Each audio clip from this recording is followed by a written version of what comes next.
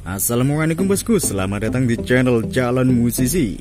Dan di video kita kali ini saya akan membagikan cara mendapatkan paket murah dari kartu Telkomsel. Oke, kita langsung saja praktekkan. Di sini saya menggunakan kartu simpati. Bintang 363 bintang 200 pagar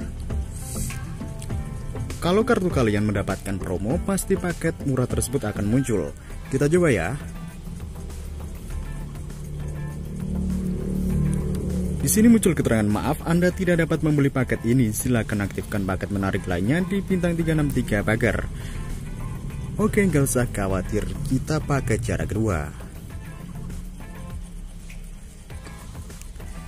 Di sini adalah linknya. Nanti saya kasih linknya di deskripsi. Kalian bisa ngeklik link tersebut di deskripsi video ini.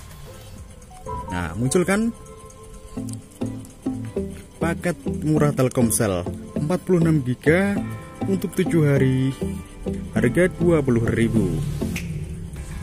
Syarat syarat dan ketentuan paket hanya ditawarkan dan hanya bisa dibeli oleh pelanggan terpilih. Mekanisme pemilihan pelanggan tersebut sepenuhnya menjadi kewenangan dari Telkomsel. Paket berlaku hanya untuk pemakaian dalam negeri, tidak berlaku untuk pemakaian luar negeri.